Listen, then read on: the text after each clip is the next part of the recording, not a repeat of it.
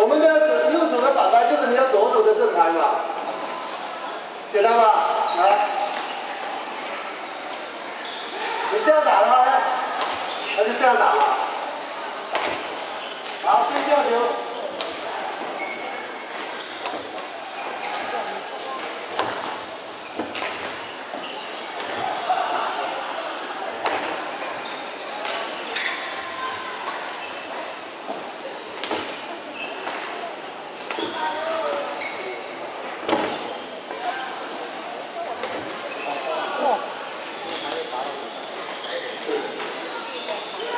畅性啊，熟练性啊，啊，好，来，好，背诵也是一样啊，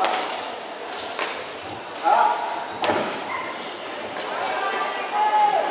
架构，啊，不是说我的力量最大，不是的，那为什么那为什么杀球最大，对不对？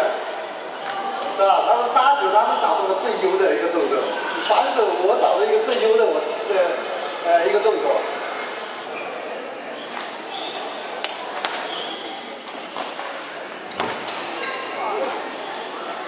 这个动作的合理，大家的肌肉退化了，不像年轻的时候，但是有这个样子就好了啊。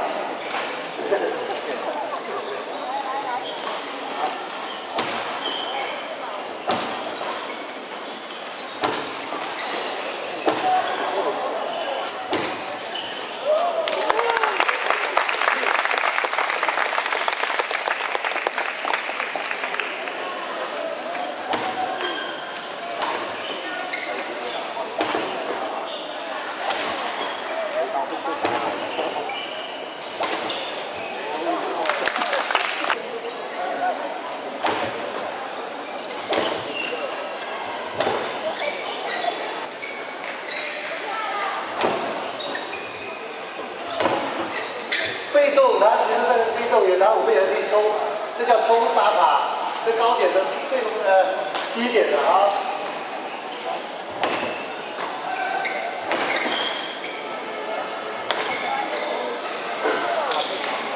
要的哈，这里你看，打高的，一高的，跳的，跳的都可以的，来，跳的，啊，高的。拿得很偏的啊累了吧好来笑着哈。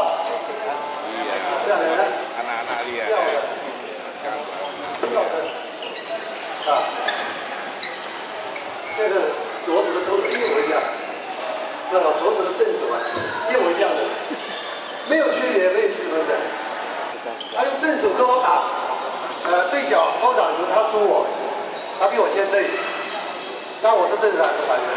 他是正手又反手，一样的。搞一下手架啊，高有球？五十个。好。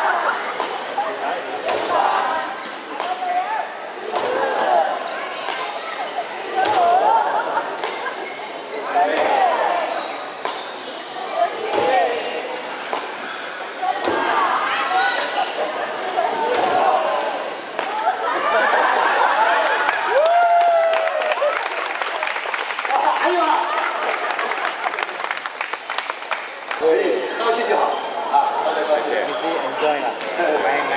不是，他都再拿五十一百，我也不是。让他把手机搞得。可以了，可以了。这刀门呢？熊教练要求有两大特点，技术方面啊，所以说好的东西，我总结好的东西，大家共同享受。教练的第一个。刚刚讲了手术刀握拍式，手术刀握拍式，刚刚你看到吗？教练在打板拍的时候，这个是这边都是空档的。第二个，羽毛球任何一个点，你如果能打出旋转，把这个旋转力量打出来，着急。你不是打直立，打直立，推推推推没有用的。你要你看刚才教练反拍是不是有旋转？大家都知道这个旋转力一定大过你直立。一个钉子它钉不下去的时候，用这个旋转螺丝它下来。我的刚刚两三个点，教练跟别的教练不一样啊，别的教练也是对的，呃，我也是对的，但是我们看大家采用哪个都没有错，啊，都没有错啊。刚刚讲了，教练用的手指和旋转力啊，我们放慢，看看打高一球，这边试一下，看两点，手指的力量和旋转，我放慢，来。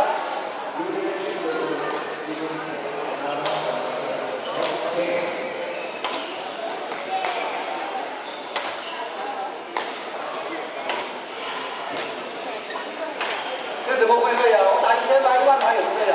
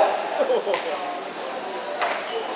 看到吧？看到吧？我怎么会累？等我要这样的时候，我是杀球啊。如果等你你这样的时候还是打一个高远球，你永远输我了。Betul. Ya. 对不对？打个高远球，你用了百分之百了，我打一个高远球，只用了百分之二十了，怎么够你？一下子没有了。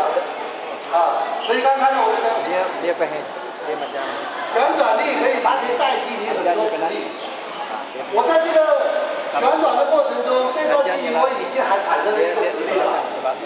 我是两种力啊，往前走再旋转，我两种力，你一种力怎么跟我打？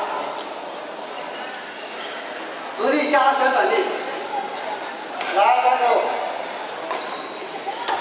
啊。